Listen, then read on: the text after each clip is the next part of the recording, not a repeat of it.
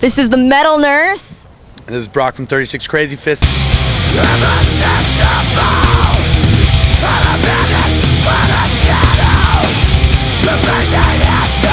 We're here at Mayhem Tour, and we're coming down to the end here. We have three days left. What has been the most exciting, or the best performance, or something that stick up, sticked out in your mind during this tour?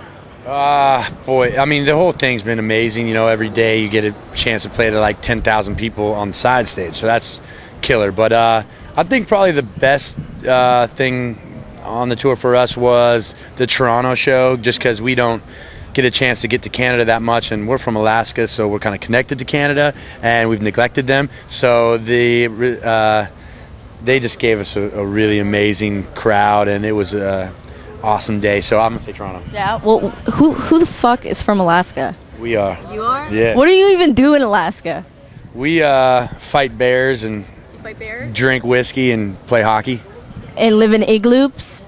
Igloos. Oh, are they there? No. No. No. There's none. I mean, you could make one in your backyard if you want, but So you go. This is where you go after the tour, um, well, I won't be off till Christmas, but it will be where I go. and it's really dark for like six months.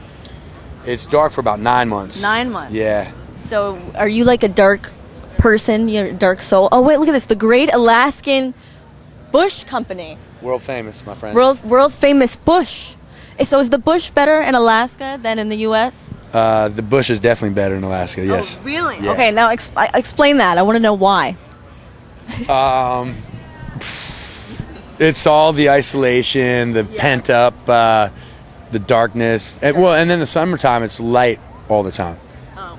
I don't know if you know that. No, I didn't know. Yeah, it's nine months of darkness, which really darkness means about six hours of sunlight.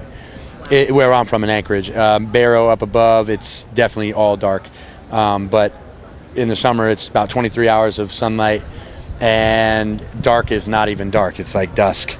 So uh, I would say just a combination of a lot of elements. You Um, guys got bored, right? And Yeah, you formed a bored yeah. You get you get bored, and you and you got you know you got Bush, and then you you formed a band because there was darkness and there was a light and there was Bush, and you were like, this is the great element to form a band, exactly. a metal band to take over the world. Well, yeah, we weren't being that greedy, but we definitely wanted to. Uh, you got to f- make your own fun up there. There's definitely not a whole lot of things going on outside of, you know, snowboarding and snowmobiling and hockey and drinking and fist fighting and things like that. So bands kind of comes hand in hand with all that stuff. Really? All right. So tell me about your guys' album. Uh, we have a new record called The Tide and Its Takers on Ferret Music, and um, it's our eighth album. And it is a combination of moody rock songs and heavy metal. So when you guys are on tour, is there anything like crazy that happens that's behind scenes that you know? Because these fans out here, they really want to get to know you. Well, we, You know? uh, we have the best barbecues backstage, hands down. Everybody knows it. Yeah, my bass player is like a really good barbecue chef, steaks and wings and things like that, and we do it every day. So I think um, everybody like kind of migrates over to our area, and it's which I like because we like to hang out with everybody. What bands do you listen to? Collectively as a, as a band we would all say we got into music because of metallica. But everybody's very diverse. You know I, I grew up loving the thrash bay area bands but i also love like the singer guys like chris cornell and lane staley and um, i love jeff buckley.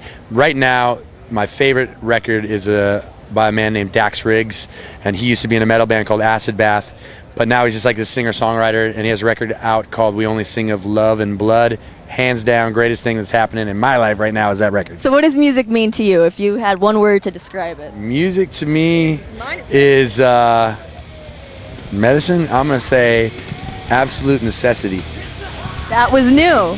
I was glad to hear that. Thank you for that. I needed that. So you heard it from the man here. He's a grown boy from Alaska. growing up We're learning about Alaskan bush. rather than not be that much bush though if we can let's keep that bush No, let's trimmed down let's a little trim it down. Let's trim it down. Let's wax that actually. Let's, uh, Why don't we just wax escape it? that. Let's escape that.